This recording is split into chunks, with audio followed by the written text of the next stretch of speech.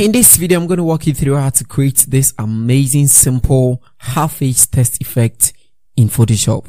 Before we dive into the video, please don't forget to like and subscribe. And without any further ado, let's jump right into the video.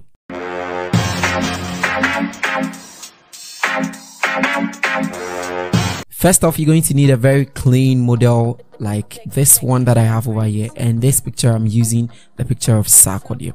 The first thing that we're going to do is we're going to get rid of the background because we're going to make some masking. So what you can do, and in this case, I have a very plain background. So what I can do is I can easily go for my magic wand tool and I'm going to left click over here. It creates a selection it didn't select all the image so I'm going to hold shift and then make another selection over here. This time around it has made a selection all around my image. So I'm going ahead and then I'm going to press delete and I'll get rid of the background.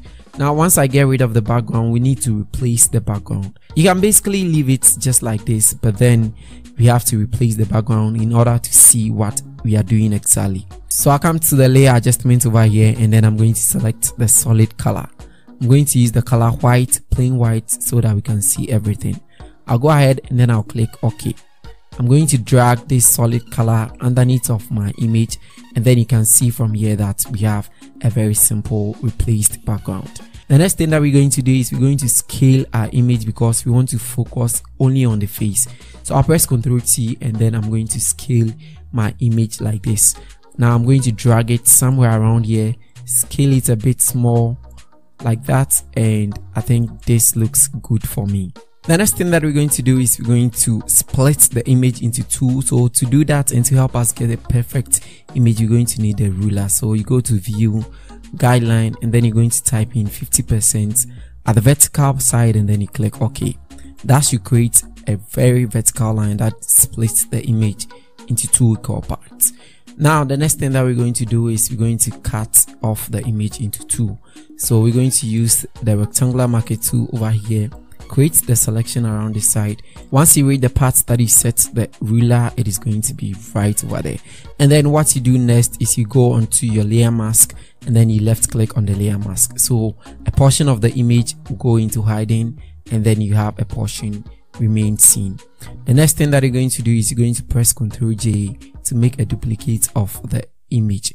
So what we're going to do next is we're going to type in our test. Now i'm going to use this simple text the black love virtual concepts so you decide on how you're going to arrange your text but in this case i'm using poppins and then i'm using the left alignment. So you realize that everything will be aligned on the left side.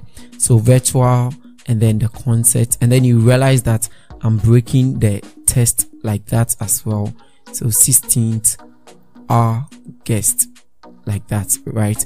And then once you're done you press ctrl t to transform it so you can then make it very bigger like this. You can check the scaling the leading and then the kerning everything. And then you can press ctrl a to make sure that you center it vertically now you take your time to position your test very well so i'm just going to make some changes in my test like that. And then you can push it close to the very half of the face like this. So you can zoom in to check that you are at the right place. And then if this feels so small you can still open it up like that. But anytime you do that make sure that you center it vertically. Now the next thing that we're going to do is we're going to get rid of the mask. So you select your second or the copied layer. You right click on it and then you're going to delete the mask. Now what you're going to do next is you're going to hold control and then you select your text. So you make sure that your cursor is on top of the T here and then you hold your control and then you make a selection. So it is going to create the selection for you. Now on the copied layer, you're going to re-add your mask, but this time around you realize that the text has been selected. So it is going to mask out the text for you. So you click on add layer mask and then you realize that this one is gone again. Now go back to your text and then you can set this to around 70 60 percent now you realize that the more you decrease this one or the the opacity the more it becomes faded and that's it you just created your half face typography in Photoshop. But just so you made it to this particular point in the video, I'm just going to give you like another tip. You can go ahead and go to the adjustments layers over here. and Then you can create a black and white on top of this one just to make it black and white. After all, it's a black love virtual concert. And if you want it like the Sarkodie style, you can go ahead and then add a gradient to this one. Let's go and pick up a gradient like this one, the two fold, the two set of gradients.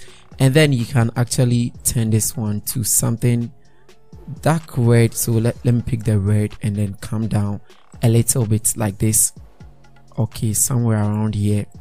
And then you can click OK and then OK from here. OK again and then you can set this one to overlay. Now once you set it to overlay you realize that Sarkodie kind of uses this type of um, designs and then you can as well change this one to soft light. I think this one also looks good. Let's try multiply. The multiply also looks quite good. And there if you don't want to use any of them as well you can just go back and then delete your gradient as well so you right click and then you delete your layer. That's it. Thank you so much for sticking around to watch this video. Please don't forget to like and subscribe and i'll see you in the next one. Innocent here and bye